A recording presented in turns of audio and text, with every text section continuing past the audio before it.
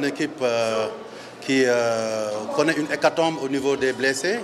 Pas moins de, peut-être peut que je peux me tromper, 10 ou 11 mais il y en a qui devaient être là, qui ne sont pas là déjà, qui ont fait forcer avant. Donc c'est toute une équipe qui est d'or comparé à l'équipe euh, habituelle, à l'équipe qui a fait la Coupe du Monde, je pense que c'est presque une équipe nulle et euh, dans des conditions de match assez particulières, une équipe qui n'avait plus rien à jouer, sauf pour son honneur. Et euh, je pense que sur cet aspect, nous devons dire que nous avons grandi donc, en tant que football. On sait maintenant aborder ces matchs à l'extérieur. il fallait à certains moments faire le dos rond, il fallait se battre, ne rien lâcher et au bout euh, marquer le but au bon moment pour se qualifier.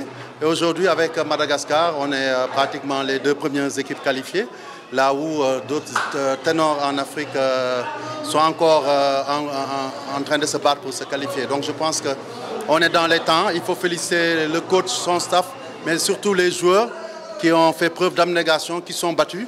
on a l'habitude de le dire, en Afrique, si on veut aller de l'avant, il faut savoir souffrir, faire le dos rond et prendre l'essentiel. L'essentiel aujourd'hui, c'était les trois points qui nous sécurisent deux matchs avant la fin.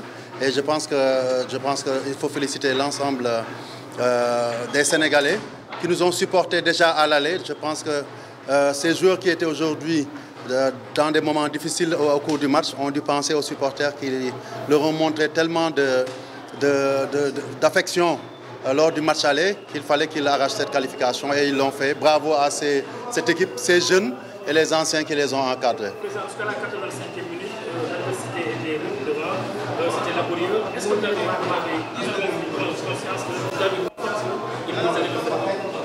Écoutez, euh, on ne peut jamais euh, savoir comment un match va se dénouer. Si je vous dis qu'à la 87e minute, je savais que Sidi ça rentrait pour mettre un but, je dirais non. Mais ce qui est important, malgré la difficulté, c'est qu'on euh, a eu un, coaching gagnant avec euh, euh Diao qui, fait, euh, tire le ballon et que le dernier entrant, donc Sidi qui marque. Ça aussi, il faut le mettre en exergue.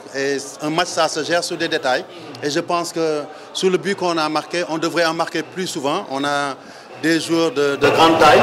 On a l'occasion beaucoup de coups Et je pense que ce but montre la voie qu'il faut pour, des fois décanter euh, les situations les plus compliquées, comme aujourd'hui au Soudan.